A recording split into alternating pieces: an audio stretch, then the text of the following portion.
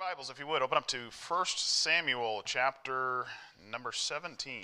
1 Samuel 17. That's where we'll be this morning.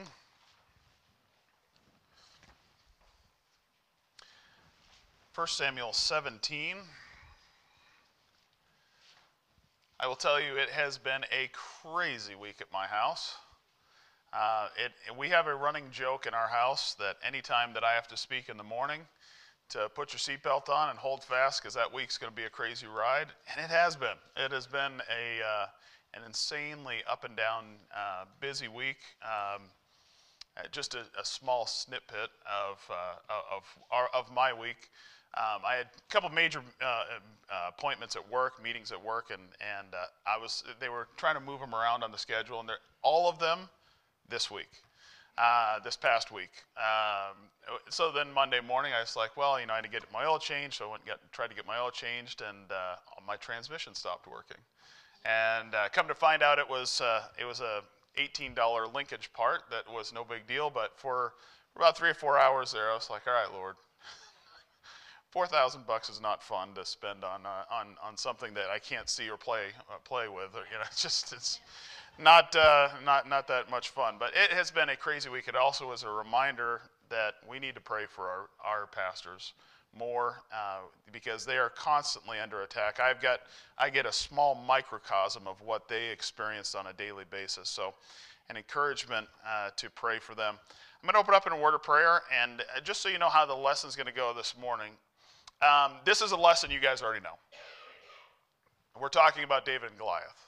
So we're not covering any new ground. Okay, so there's not some earth-shattering passage of scripture that I'm going to come across that we're going to read, and you're going to be like, "Wow, that was an amazing story." You already know. Most of you in here, the majority in here, should know this story. Um, but this was a passage of scripture that I, I studied with the teens here just a couple weeks back, and I have not been able to I've not been able to let it go. It has, it has sat in my mind, it has marinated in my mind, and even when Pastor Scott um, asked me to speak this morning, this was the passage that God gave me peace about speaking on. This is a different look at the passage, but it's, it's a personalization of, of the actual actions that David goes through. Um, so as we go through this, that's why I kind of started off the service this morning uh, the way that I did if your heart is not prepared for the service this morning, we're going to cover verses that you already know, and it's going to be very easy to get complacent in your view of what is being covered. Okay? Um, I could bring my daughter up here right now and say, hey, Kate, tell me the story of David and Goliath. And she could do it. Okay, so I don't want us to get into the idea of the story, but in the application of what uh, of what David went through. So we will we're not going to cover the entire story, but we will cover uh, part of it. Uh, but we're in 1 Samuel 17. I'm going to open up in a word of prayer, and then we'll we'll start. We'll go through the we'll go through the lesson. We'll go through the the story of David, and then we'll go through some application of it. Dear Heavenly Father, Lord, again, I do thank you for this morning. Lord, you have given us the opportunity to gather in your house. You have given us the opportunity to have your word. And Lord, you need to be here. Lord, our minds need to be here. Our hearts need to be aligned with you. Lord, this is your Bible. This is your church. This is your lesson. This, you are, uh, Lord, our God. God, I pray as we go through this lesson that our hearts would be reminded, would be challenged, would be stirred to draw closer to you, to step out in faith, to, to do the things that we know are right. God, I thank you for the opportunities you put in front of us. I thank you for your goodness and grace and mercy. Be with us this morning. Lord, may your word go out powerfully around the world today. In thy name we pray. Amen. I love, I, I, love being married. I love, uh, I love the, the life of, of a family. I love all of those things. I love the many stages of life that we have gone through. Now, I am in my mid 40s, so I haven't gone through all of the stages yet, but I've, got, I've enjoyed each and every one. Each stage of my life after college is what I would say it after my single life has been, has been exciting. Uh, and each of them has different blessings in them. When, I, when Carrie and I were first married, we lived in New Hampshire, which was a great place to live, lots of stuff to do. Um, and I can remember there was distinctly times that we would come home on Friday afternoon, and uh, I would, she would pull in the driveway, and, and I would be waiting for her because I was teaching school at the time, so I'd get home before her. And I would say, hey, what do you want to do this weekend? And she'd be like, let's go to the mountains. I'm like, great, let's go to the mountains. And, and we would run upstairs, and we'd pack our bags, and we'd throw them in the car, and we'd leave. Five, ten minutes, tops. No reservations, no idea where we were going, just go. That was uh, awesome. Okay, then you have kids. Not that kids aren't, but that kind of goes to the wayside uh, because you can't exactly, uh, especially when you first get married. Let's be honest. When you first get married, everybody gives you everything, right? You get you get like a complete set of everything. You get you know the strollers and the every, everything else. I feel so bad now when I see mothers walking through like Walmart and they're carrying the the, the big car seat and the, the strollers. Well, to go anywhere with a child, even a, even a, just a small infant, takes up your whole back of your car. It takes planning. You gotta you gotta make sure you have all the right foods and diapers and and and Lord help you if you if you forgot the the, the binkies or pacifiers and all of those things, the favorite toys that that that they that they have. But you do enjoy the child. You enjoy them being a baby. You enjoy all of those, you know, the, the loves and the snuggles and all of those things. And now that the kids get older, you you enjoy them differently. I, I, I loved the kids when they were small, and I loved them when they were little. I can remember teaching Brandon and Connor and Drew, uh, you know, how to throw a baseball and shoot a basketball, and loved all of those things. But there's one thing that has changed over time. They've gotten older. They've gotten more responsible, somewhat more responsible, um, and they've started to, to, to grow in maturity. But there was a stage there where Carrie and I were trying to decide if we could kind of go back to being like we were before the kids were married. If you know, if you're if you're a parent, you understand what I mean. The kids are at that 12 to 13 year range, and you're like, can we leave them at home? and any parent that has gone through this knows what this is like. Now, you, you, you have to build up your child to get to this point, obviously. And I can remember uh, Carrie and I having this conversation, and, and it's just, it's a funny conversation. You sit there and you're, in, you're, you're like, can we do this? Can we, can we leave the house with them here? But will the house be retained in the same state that it is? And you sit there and you talk about it and you're like, well, let's, let's try it. And, and, and you, say, you say to the kids, you're like, okay, hey, we're going to just run to Walmart five minutes down the road and then it, the funny thing is, you get in the car, and it's almost like you were dating again. You're sitting there looking at each other like, "What are we gonna do? This all this time, and we got to run to Walmart, and, and you're excited about it. You, you start driving, and then you pull out of the neighborhood, and then what immediately happens? You worry. Carrie looks at me and she goes, "Do you think they're gonna burn it down?" Knowing my kids, probably. I don't, I don't know. It's insured. Who cares? Uh, at that point, I'm like, I'm like, I think they're going to be fine. It, it, what do, do, should we call them? I'm like, we just left. I can still see the house. you go to Walmart, you get your groceries, and you do all of that, and you come home, and and you walk in the house, and the kids are in the same spot that you left them. Whether that's in front of the TV or outside playing, and, and, and they're there. And, and, and over time, that grows. Now you get to go grocery shopping together, and you get to go on date nights. And those are, it, when you go on a date night and you don't have to pay for babysitting, that is a huge, that, that's a big deal. You're like, this is, you don't have to bring them anywhere. You don't have to deposit them anywhere. It's, you don't have to pick them. They're at home. You just leave them, and it's great. And, and, and, and then, but then what do you do on a date night? You, you got to, if you're going out for dinner, you then have to provide dinner for your child. So, so then the, the whole thought process, you know, I'm, I am more of the line of, they got frozen pizzas, they got an oven, who cares? And my wife's like, they don't know how to use the oven yet. And I'm like, eh, so you got to walk through that. So it, it's exciting, and, and you go through that. And now we're at a point now in our lives where yesterday we grabbed the keys and we had to run, do some running around, and we're leaving. That's what we said. We, it, it, loud enough. And I think one of our sons was like, okay, no expectation of time return, no expectation of anything. We just left. And it was amazing.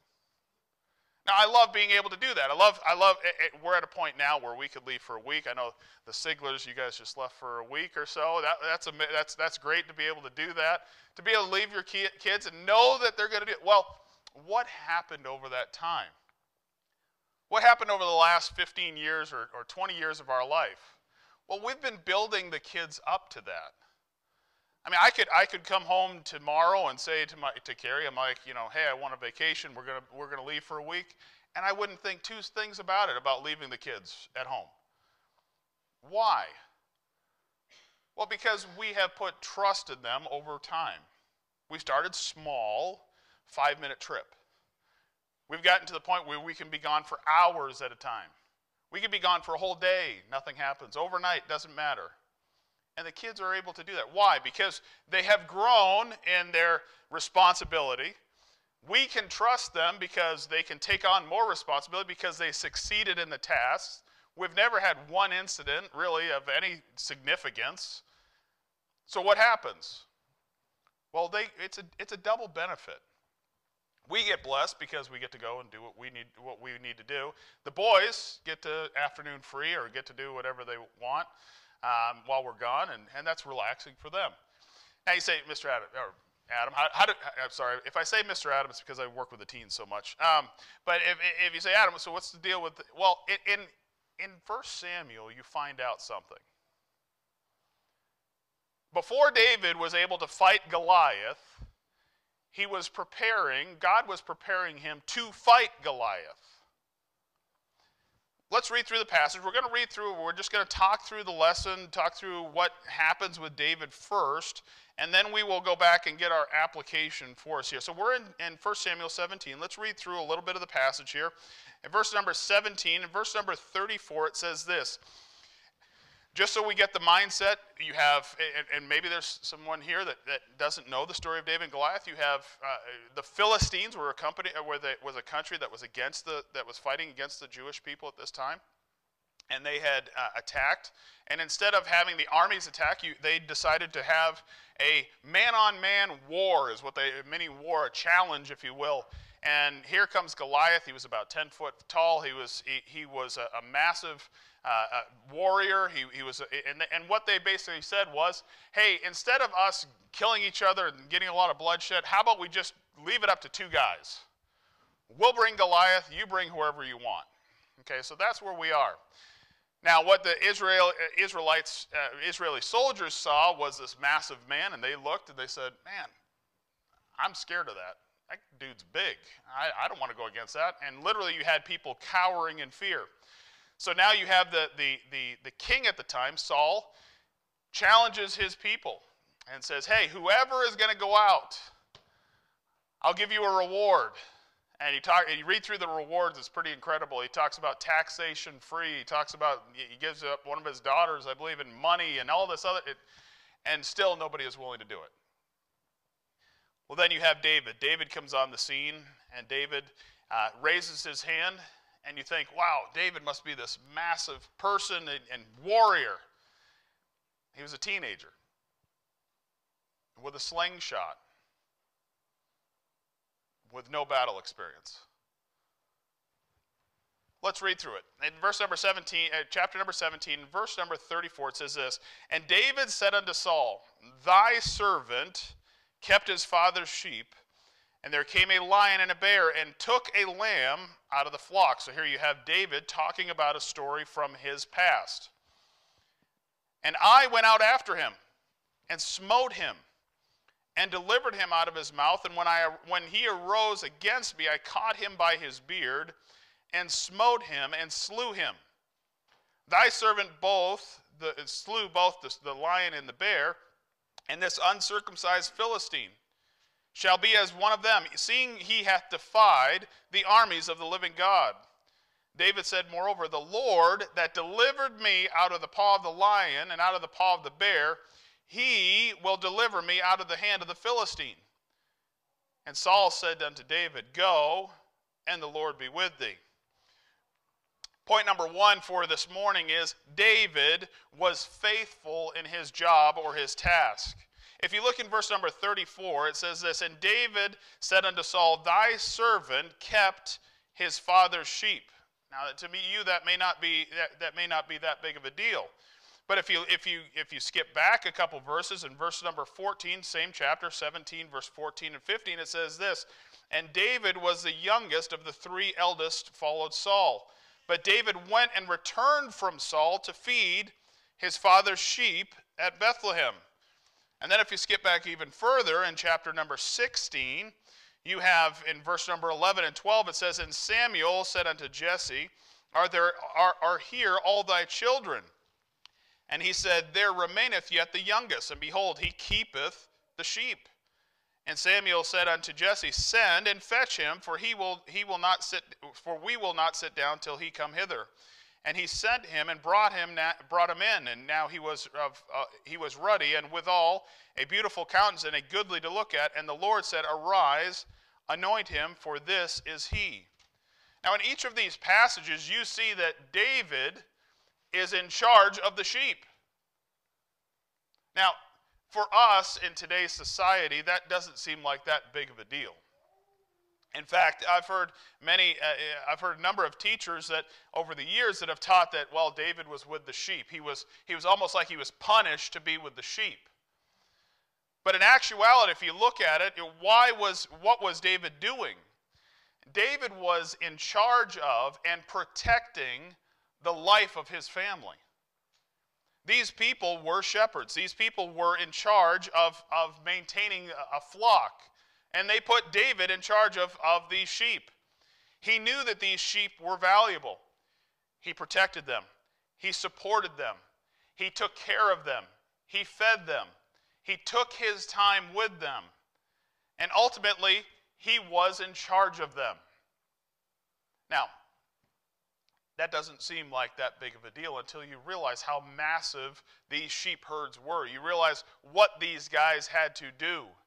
They were wandering around in the, out, out in the wilderness, not wandering, they knew where they were going. They, they, they had a, a plan and they were, they were constantly moving the sheep from uh, one pasture to the next and, and finding water for them and, and, and, and really spending time with them out in the middle of, of nowhere away from the protection of home, away from the protection of, uh, of their family and, and, and all the buildings that were there. And they were there alone, willingly. But they understood one thing those sheep were extremely valuable to their family, to their family's to success, to their family's well being, to their family's lifeline. And what do you see David do? You see David take his job seriously. So seriously that a special guest shows up at their house Samuel. That would be like the president of the United States, regardless of how you feel of him, at least the person that is in that, that, that, that title, showing up at your house and saying, Hey, I want to have lunch with you and I want to meet your family. And David says, or David is out with the sheep. Normally, in these situations, what would you have? You would, you would have the house prepared, and you would have all of your family there, and they would be cleaned and showered, and, and everybody in their best dressed, and, and you would sit down with that person, and you would talk, and you would spend time with them. Where was David? Out with the sheep. Why was David out with the sheep? Because it was important. It was important to his family. It was important to him. It was important to protect everything that was, was around those sheep. Now, ultimately, you see that David is chosen to be the next king, and uh, I, I, still, don't, reading through it, you kind of get the impression that he, he doesn't necessarily understand everything that's involved there, but he understands one thing he's got to get back out to the sheep. If you just got anointed by a prophet back in this time and told that eh, the idea of you being the next king, I know these teenage guys, I know my teenage boys. If somebody came into our house and said, hey, uh, you guys are going to be a, it's a pretty important, pretty big deal here. Uh, you're going to be the next king and the next ruler of the, of the country. And then I turned to him and said, hey, you know, the lawn needs to be mowed. What's their response? Uh, the next ruler of the United States of America doesn't mow lawns anymore. I'm sorry, I'm not taking job applications now for that. And every and, and, and why? Because that's the natural instinct. What was David's instinct? Go back out with the sheep. Protect the family. Protect the goodness of the family. So, our first point here is David was faithful in the job that he took, in the job that he had, and the task that he was performing. Well, what else about David? What else can we learn from this, this simple story of David and Goliath? Well, the second thing we learn is David had the proper perspective and recognition of challenges in his life. You read through the, the, the, passage, and we've read through it, so I don't want to necessarily read it through again. We'll, we'll go through we'll go through it, but you see that what, how David talks about this challenge, this testing, this trial that is put in front of him. And it's very interesting that he uses words in the Bible. When you're reading through the Bible, do not take lightly the, the style of words that are used. There's a purpose in every word in the Bible. And it's very easy to gloss over those words and to, and to take those words and, and minimize them. But in David's actions here, let's read through this, and, and, just so you get to the idea here, what happens? Well, if you read through it, you, you understand what happens. In, in verse number 34, he says, He kept his father's sheep, and there came a lion and a bear and took a lamb out of the flock. Okay, let's just stop there. A lion and a bear took one lamb. What are you doing? What are you doing if you're doing the sheep and they take one lamb? You got hundreds. There's one. The lion and a bear. Think about it. I'm looking at it going, it's a write-off at this point. I, I, I think we're think we're acceptable. We're good. Well, what you don't understand is what happens when the lion is done with the first one comes back for the next one. And guess where they go? Right back to the same point where they where they got the first one. It was a tasty one, so let's go back to that same place. There was, a, there was an opportunity where David sees this, this lion and this bear, and, they, and they, they, they, they take them. Now, what does David say? In verse number 34, it says, it says they came out and they took, the, they took the lamb. In verse number 35, and I went out after him and smote him and delivered it out of his mouth. And when he arose against me, I caught him by his beard and smote him and slew him. If you're looking at these words, he, eh, first off, David identifies the challenges that he was facing. It says a lion and a bear. But then what does he also identify? He identifies action that he took if this was a hired man, if this was somebody that was hired by the family, and they saw a lion and a bear, good chances they were not going to be chasing after him.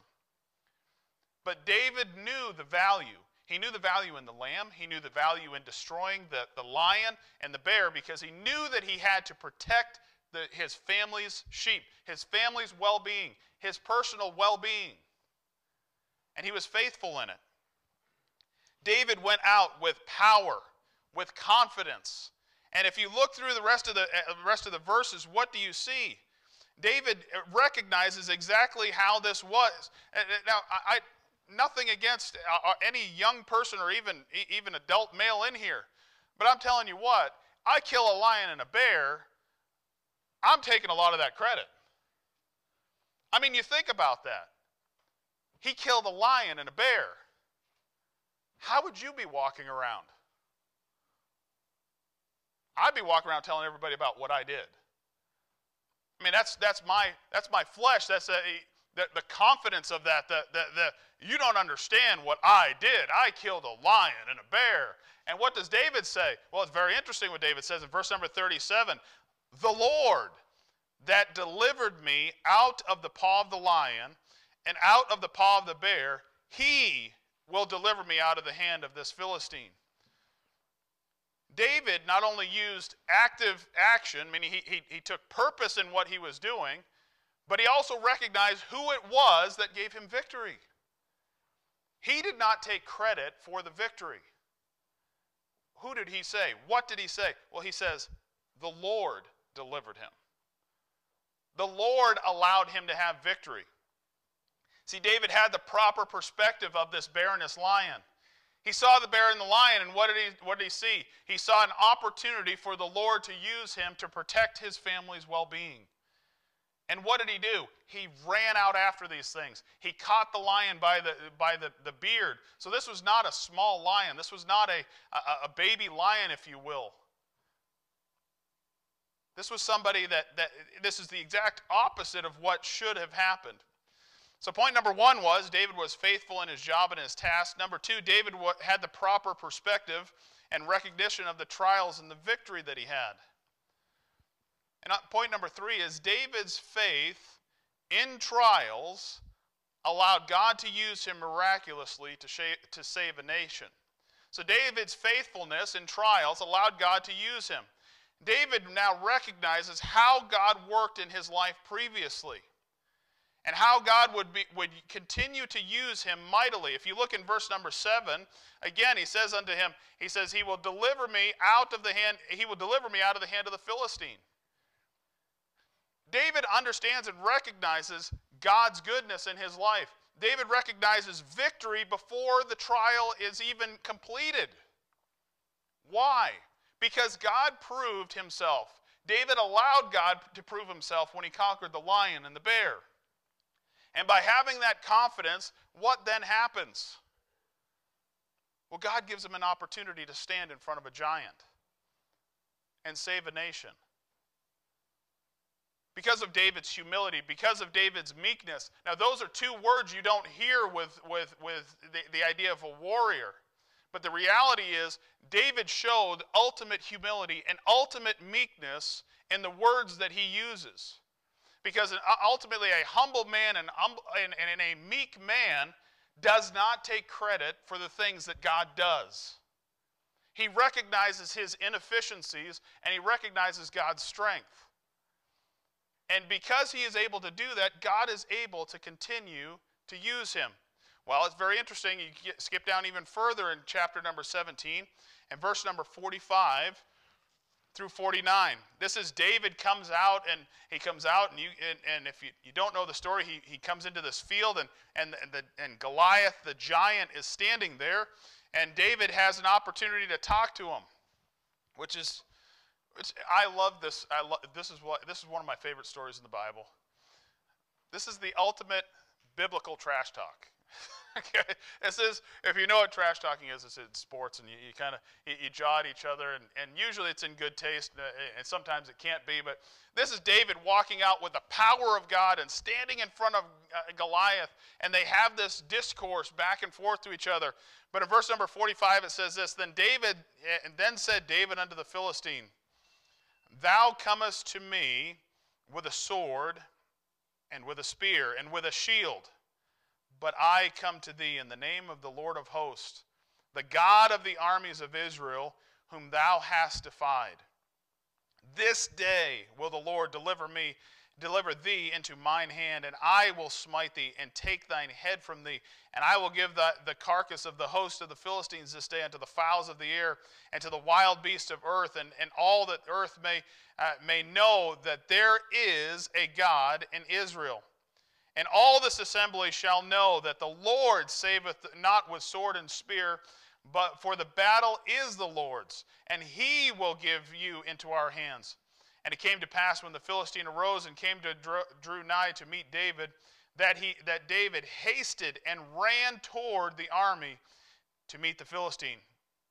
And David put his hand in the bag and, and took thence a stone and slang it and smote the Philistine in the forehead, and the stone sunk into, into his forehead and fell upon the face of the earth.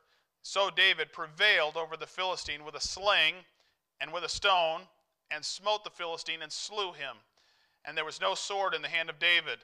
And, and, and therefore David ran and took the took a and th- therefore David ran and took upon the Philistine and, and took the sword and drew it out of his sheath thereof and slew him and cut off his head therewith, where, there, therewith. Now you find out here that before the battle, who is David recognizing? God. He's saying, God will give this to me, not me. He's not saying, I, this would be, this would have been the time. This would have been the time for David to stand there and with his, with, with his chest puffed up and, and, and, and, and walking around as if he, he, was, he was filled with his own self righteousness and confidence and saying, I killed the bear and I killed the lion and I'm going to kill you. I mean, it sounds great, but it's absolute selfishness and pride. What does David say? David said, The Lord will deliver me. And did you catch how he wrote how he says this? What is the purpose of this? That God would be glorified. That God would be glorified in the land, that God would be glorified by the, the armies of Israel, that God would be glorified and known, and that the power of God would go out and be known around the world. And you start looking at it that way, and you start seeing that in, in trials, God, eh, because David was prepared for these trials, because, God, because he allowed God to use him in the small things, God ultimately was able to use him in the great things. Just like when we had at the beginning of my lesson today.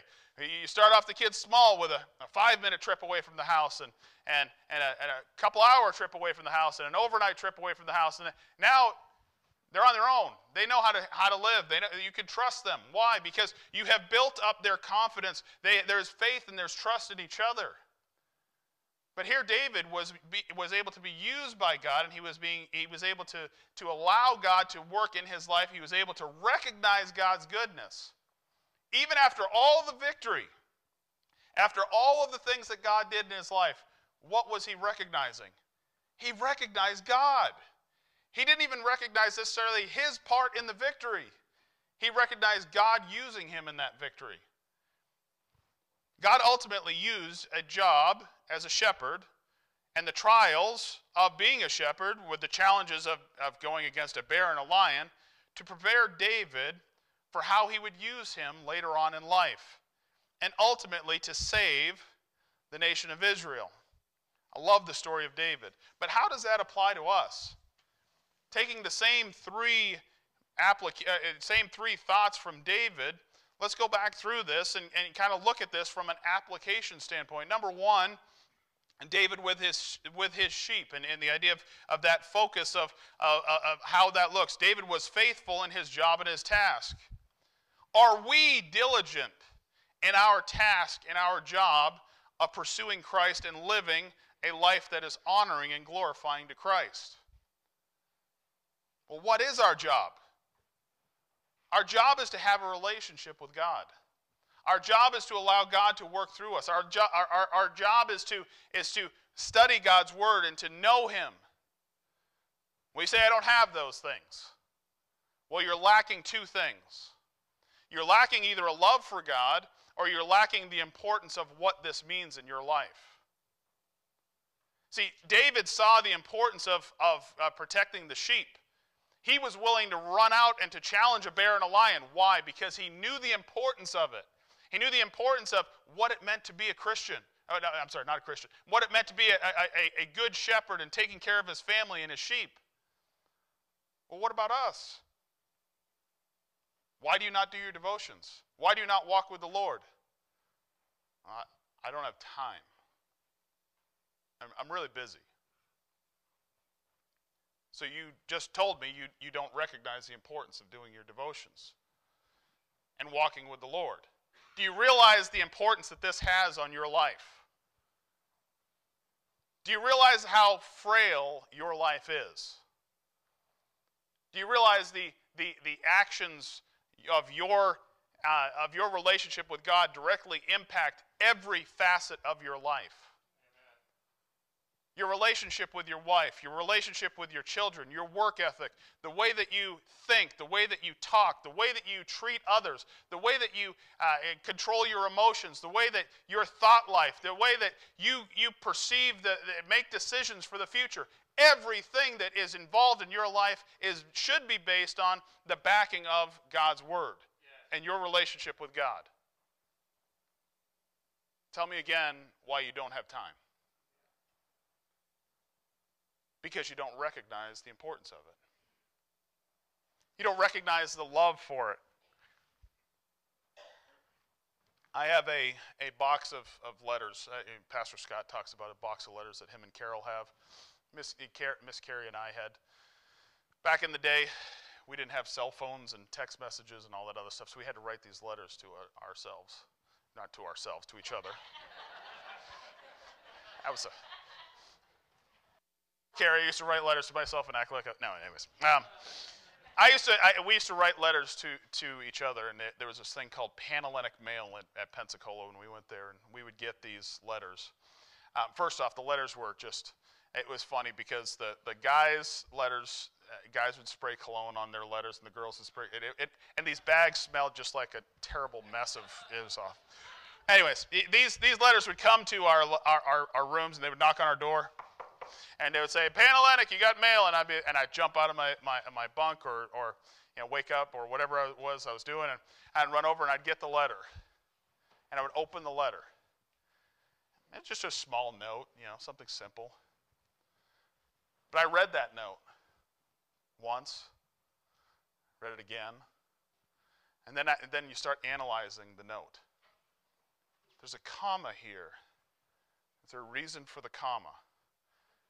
She says she, she, she would enjoy to, to, she enjoys time, comma. Does that mean that she's this is what happens when you're dating. This is what would happen. Now, you guys get the text messages. You guys don't even understand this. You get to get a text message and FaceTime and all that other fun stuff you get to. And I would sit there all night long and I would read it and then I would reread it and then I would read it again and then before I went to bed, I'd read it again, and then I'd be, I'd be you know, whatever I, my perception of the letter was would help me as I went through the next day, and, and I'd be so excited to see her. And I saved these letters. I don't know why I saved them. Miss Carrie and I have talked about having a bonfire and throwing them in there before, because nothing bad there or anything like that, but it's just, I read these and I'm like, oh my goodness, why would I write that? It just, uh, it's so sappy and, and anyways. I used a thesaurus. I just know that much when I, when I, when I wrote mine. But I understand that the love that I had for her and the love that I had in getting that note and that letter, nobody was going to take that note from me. Nobody was going to take it out of my hands. Nobody was going to destroy that note. And I read that note as if it was something that was the most important thing in my life. This is your love note from God. Do you love it? Do you love Him? Do you love Him enough that you love His Word? See, God asks us, uh, God requires of us to be diligent in our tasks. Our tasks prepare us for the challenges that are coming. And if you're not diligent in your tasks, you won't be prepared nor are you going to be ready for the opportunity for God to use you. So, our, in our lives, are we prepared? Are we diligent in our tasks? As these, as these trials and testings come up, eh, just like it with David and the, and, the, and the bear and the lion, do we have the proper perspective of trials in our life? Here you had David, he saw this lion and this bear that, that should have caused him to, to, to flee.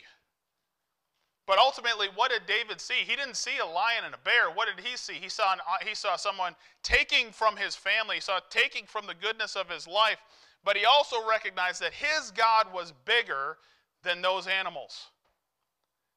And he saw an opportunity for God to use him and use him mightily. Now, the proper perspective that we, we have is this and I know that in this room, some of you in here are going through massively heavy trials in your life. And understand that I may, know, uh, may not know of many that are going, anything that in, in your life personally, but I know that each of us has trials. But we make our trials as big as we want to. It's just a matter of what you're focused on. I used a silly illustration with the teens the other day. If you can wink your eye and you take one finger, all right? Everybody try it. I know we're doing something in Sunday morning. This is not, I know it's uncharacteristic, but I'm an uncharacteristic person. So take your eye, wink, put your finger way out here. Looking around. Can you see everybody? Still with your one eye. Yeah, kind of. Yeah, you get, you get that. Now take the one finger and put it directly in front of your eye. And what can you see? Let me ask you something. Did the finger size change? No, Adam. Why? Well, what's the difference if it's out here or if it's here? This is the focus of my of my vision. This is not. Our trials and our testings that we are going through, our trials and our challenges in our life are as big as we want them to be. Do you want them to be out here or do you want them to be here? The challenge is are we willing to trust God to do what He says He will do and leave our trials and our, and, our, and, our, and our situations with Him? Allow Him to work through it so that we can sit there at the end of the trial and say, God did this in my life. God showed me the goodness of His life. God showed me the victory. And in Him, I, I can see that. I can see His goodness. The flesh wants us to, to focus on our trials. The flesh wants us to be consumed by our, our, our, issues and to, and to cause it to affect our whole life. Did you notice when, when David saw the trials, whether it's the bear or the lion or Goliath, what did he do? He was active. He ran, he caught, he, he slew, he, he, he charged, he, he did something active. Well, if you guys are anything like me, I can tell you this much. When a trial and a heavy trial comes up, What's our reaction? Our reaction is to stop. Our reaction is to put this down. Our reaction is to not come to church or have a desire to go to church. Our reaction is to pull away from people. Our reaction is to walk away from the things that we know are right. What has happened? Our focus. Instead of focusing on what we should with God, what do we do? We focus on the trial and we allow it to consume us. It's many times I talk with the teenagers. A lot of them sleep a lot. I can remember being a teenager, and I, I, every now and then I'd sleep in too. You know, get up just in time for lunch, you know, that whole thing. But one of the things that you see in teenagers is when they're struggling with things, they have an inclination to go to sleep. They have an inclination to separate themselves, and it's very easy to see it in teenagers. But as quick as I point out to the teenagers, I say it's the same thing with adults. We pull back from God, we pull back from church, we pull back from people that can be a positive encouragement to us. We spend time with, away, from, away from everybody and we consume ourselves in our trials. In trials, we need to force ourselves to be active with the Lord. Do you think David's flesh wanted to attack the, the, the, lion and the bear and, the, and, and Goliath? No, his, his, his reaction, his, his fleshly desire would have been to flee. But he recognized God's strength, and in that strength, what did he recognize? He recognized his need to fight, his need to grow, his need to push through, his need to impact because ultimately, the more that we fight for ourselves and our relationship with God, we are fighting for our families, we are fighting for our marriages, we are fighting for our children, we are fighting for our church, we are fighting for our jobs, and, and, and the impact that we can have on those around us. All by changing our perspective. Point number two is do we have the proper perspective of trials? Point number three is this, and it's the, the same thing with uh, point number three for, for David is it, God ultimately is preparing us and wants to use us to accomplish mighty things. Our problem is we dream too small or we forget what God has done. I've heard it said a number of times, and even uh, I can remember over the years, my, my mother has, has challenged me and many pastors have challenged from this pulpit and from other pulpits to write down God's goodness. Why? Why do we, why do we need to write down God's goodness? Why do we re- need to write down victory? Why do we need to write down praises? Because we forget. We forget how good God is. In the midst of a trial, we forget how good God is. We forget the, the, the, the, the victory that God gave us, and many times we end up taking credit for what God has done. There's been times in my life even that I've seen that I've, I've conquered something and I, and I catch myself very quick to take credit for something that God did. And it has nothing to do with it, it's all rooted in pride and, and, and selfishness. Instead of taking the proper approach of what David took, and he recognized God. He recognized God's goodness. And he recognized God's ability through victory. It had nothing to do with him. Ultimately, we are being prepared for something. If you're alive here today, which I think is just about everybody in this room, right, teenagers? Okay, all right.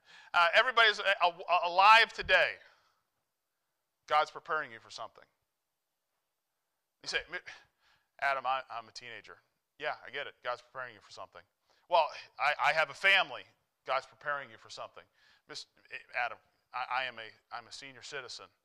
If you're still alive, God's preparing you for something. Until He's done using you, He's preparing you for something. So don't get this idea that you're done. Don't get this idea that you can't. What are those? Those are excuses. Those are excuses that the flesh comes up with to justify your, you not doing what God tells you to do.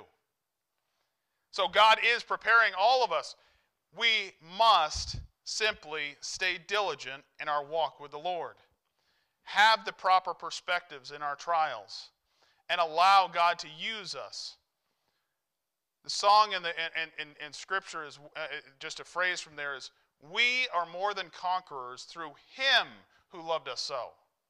Not through our own actions, not through our own devices, not through our own desires, but through His. Do we recognize that? Do we utilize that? Do we apply that to our life? If you are here this, this morning and you are unsaved and you know nothing about what it means to, to live a life that's honoring and glorifying to God, let me tell you something. God loves you. God wants to have this relationship with you to allow you to access what He has as far as power to overcome those trials, to overcome those issues that you have. He has a desire to know you. He sent his son to die on the cross for you.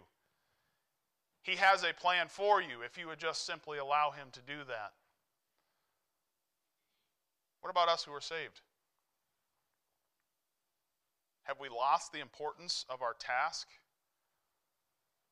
Have we lost the, the love that we should have?